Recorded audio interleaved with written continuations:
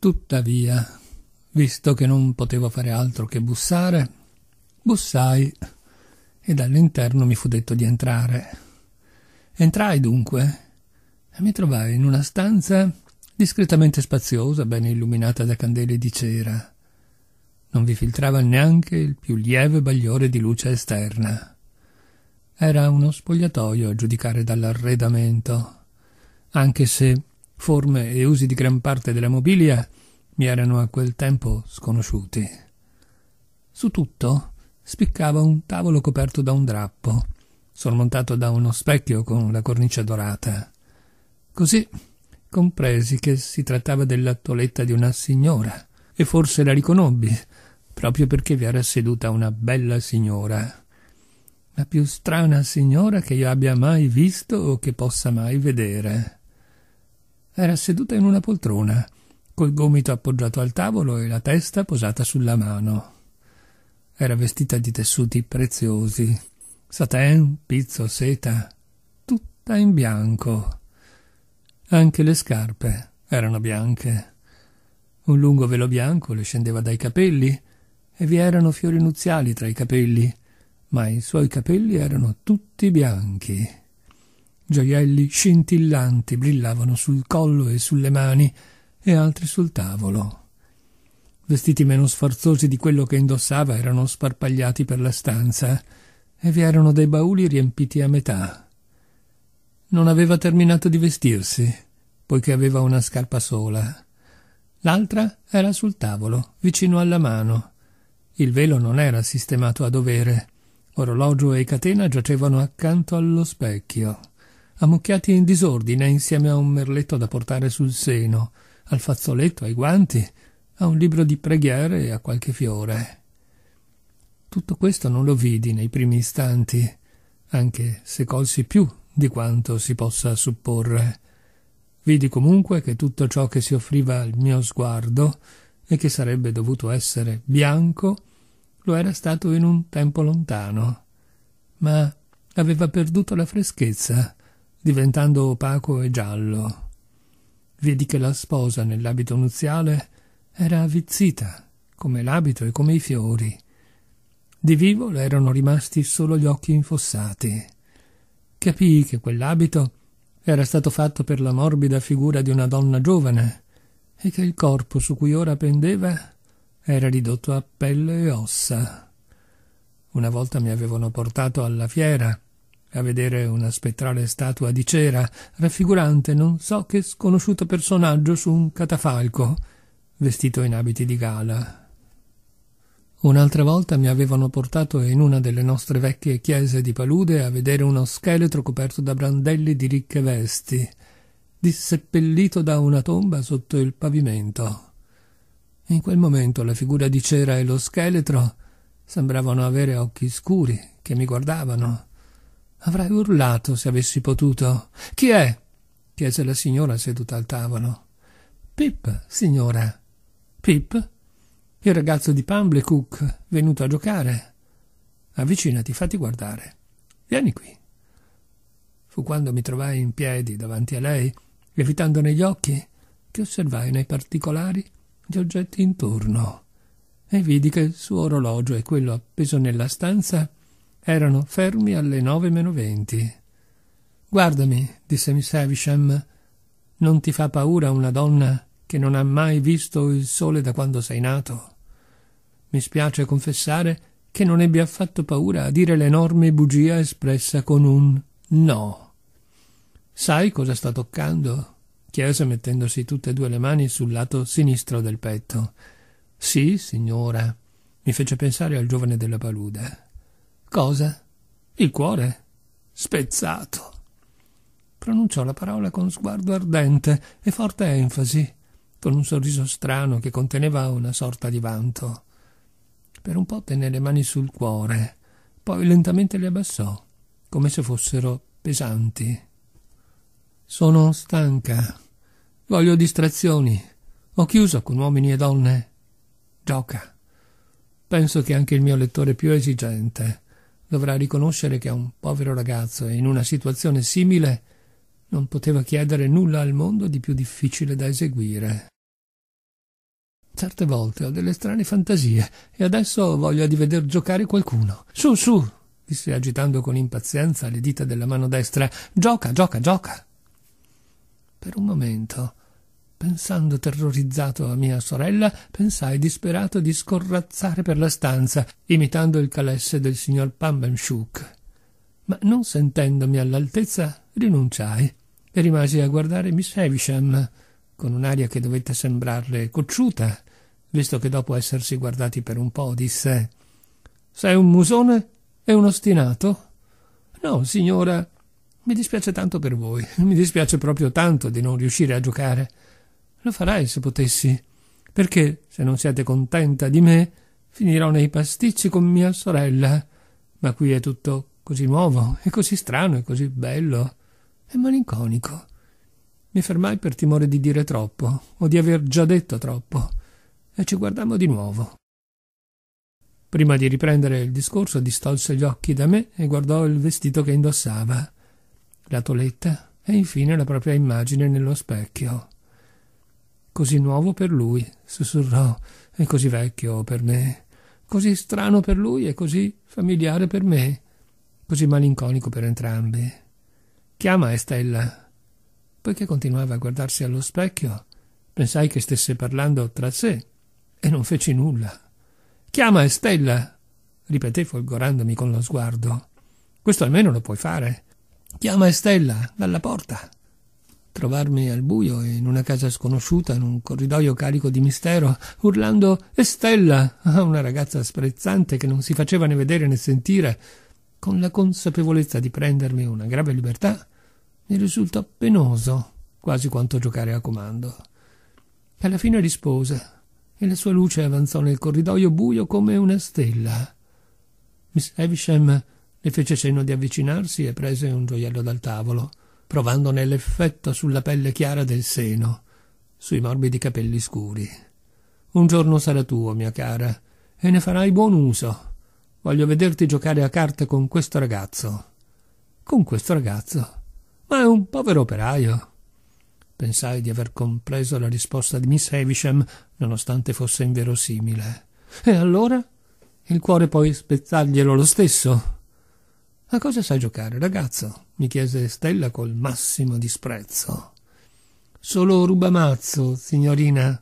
E tu rubaglielo, disse Miss Havisham a Stella. Così iniziammo a giocare. Fu allora che cominciai a capire che nella stanza ogni cosa s'era fermata come gli orologi in un tempo lontano. Notai che Miss Havisham posava il gioiello esattamente nel punto in cui si trovava prima.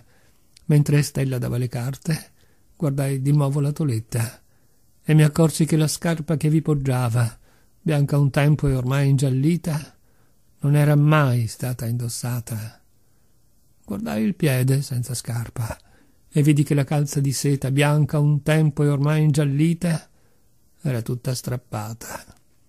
Senza questo fermarsi di ogni cosa, senza l'immobile quiete di tutti i pallidi oggetti in disuso, neanche l'abito da sposa, sul corpo cadente, sarebbe sembrato tanto simile a una veste da morto, o il lungo velo ad un sudario. Mentre noi giocavamo a carte, se ne stava lì, seduta come un cadavere, con le trine legale dell'abito nuziale che parevano di carta sporca. Allora non sapevo nulla dei corpi sepolti che, quando vengono alla luce, si riducono in polvere. Ma in seguito ho pensato spesso che lei aveva quell'aspetto, come se alla luce del giorno dovesse diventare polvere. Questo ragazzo chiama i Fanti Jacks, disse Stella con disprezzo, prima che finissimo la partita. Guarda che mani ruvide e che stivali. Prima d'allora non mi era mai venuto in mente di vergognarmi delle mie mani, ma iniziai a considerarle una coppiata davvero mediocre. Il suo disprezzo nei miei confronti era talmente forte che divenne contagioso e mi disprezzai. Vinse la partita e toccò a me dare le carte. Sbagliai, come era naturale, sapendola in agguato per cogliermi in fallo. Disse che ero stupido, un poveraccio. Tu di lei non dici niente, disse Miss Havisham, osservandoci. Lei ti offende, Ma tu a lei non dici niente. Cosa pensi di lei? Non voglio dirlo, balbettai. Dimmelo in un orecchio, disse Miss Havisham piegandosi in avanti. Penso che sia molto superba, risposi in un sussurro. E poi? Che è molto graziosa. E poi? Che è molto offensiva. Proprio allora mi stava fissando con uno sguardo carico di repulsione. E poi? Che vorrei andare a casa e non vederla mai più, anche se è così graziosa. Non so se mi va di vederla ancora, ma adesso vorrei andare a casa. Fra poco ci vai, disse Miss Havisham ad alta voce. Finisci la partita. Se non fosse stato per quel suo primo strano sorriso, avrei quasi pensato che il viso di Miss Havisham non potesse sorridere. Aveva un'espressione fissa come tutte le cose intorno a lei, e sembrava che nulla potesse mutarla. Le si era afflosciato il busto, incurvandone la figura. Le si era abbassata la voce, ridotta a un sussurro torpido e quieto. Era come se in tutto, anima e corpo, dentro e fuori, si fosse accasciata sotto il peso di un colpo mortale. Finì la partita con Estella, che vinse tutto. Gettò le carte sul tavolo dopo averle vinte, come se le disprezzasse per averle sottratte a me. Quando ti faccio tornare? disse Mishevichem. Fammi pensare. Le stavo ricordando che era mercoledì, quando mi fermò con la stessa impazienza di prima, agitando le dita della mano destra. Basta, basta. Non ne so niente di giorni della settimana e non ne so niente di settimane dell'anno. Torno fra sei giorni, hai capito? Sì, signora. Estella, accompagnalo giù, dagli qualcosa da mangiare e lascia che si guardi un po' intorno intanto che mangia. Va. Scesi seguendo la candela, come l'avevo seguita salendo, e lei la mise nel posto dove l'avevamo trovata. Prima che aprisse la porta laterale, avevo istintivamente pensato che dovesse essere notte. Investito dalla luce del giorno, mi sentii disorientato e mi parve di essere rimasto in quella stanza, al lume della candela, per molte ore. Non muoverti di qui, disse Stella, e scomparve, chiudendosi la porta alle spalle. Ero solo in cortile e mi guardai le mani ruvide e le scarpe comuni. Il mio giudizio su quegli accessori non fu favorevole. Non mi avevano mai crucciato, ma lo fecero allora, come delle volgari appendici.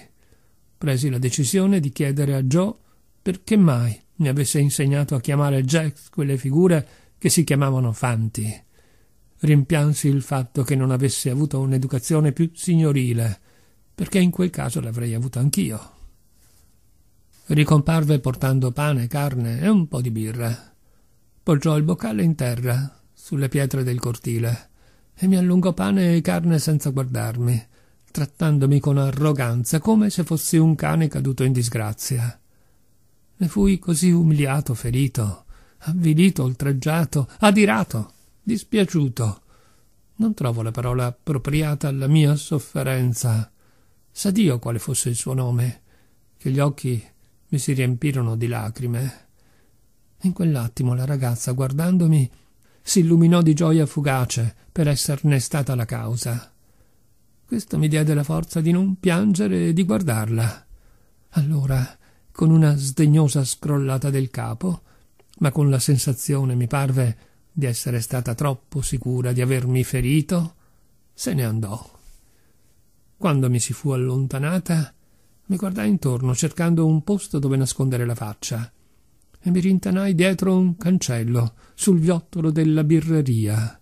Appoggiai la manica sul muro, la faccia sulla manica e piansi. Mentre piangevo, prendevo a calci il muro e mi strappavo i capelli. Era una reazione necessaria, tanta era l'amarezza che provavo, talmente acuta la mia pena senza nome. I metodi educativi di mia sorella mi avevano reso sensibile nel piccolo mondo di un bambino, chiunque sia la persona che lo alleva, nulla viene percepito o sentito più acutamente dell'ingiustizia. Pure se l'ingiustizia di cui è fatto oggetto è piccola, anche il bambino è piccolo, ed è piccolo il suo mondo. Il suo cavallo ad ondolo, invece, in proporzione, è grande quanto un cavallo da caccia irlandese. Sin dall'infanzia avevo sostenuto dentro di me un costante conflitto con l'ingiustizia. Sin da quando avevo iniziato a parlare, avevo capito che mia sorella, con le sue imposizioni arbitrarie e violente, era ingiusta verso di me, e mi ero andato sempre più convincendo che l'allevarmi con le sue mani non le dava il diritto di allevarmi con le sue botte. Era una certezza che avevo nutrito attraverso punizioni, castighi, digiuni, veglie e altro. Probabilmente la mia timidezza e vulnerabilità erano dovute alla solitudine e all'abbandono. Mi liberai per il momento della mia sensibilità ferita, ficcandola a calci dentro il muro della birreria e strappandomela a forza dai capelli. Poi mi spianai il viso passandoci sopra la manica e uscii da dietro il cancello. Il pane e la carne erano discreti, la birra scaldava piacevolmente e presto ritrovai l'umore giusto.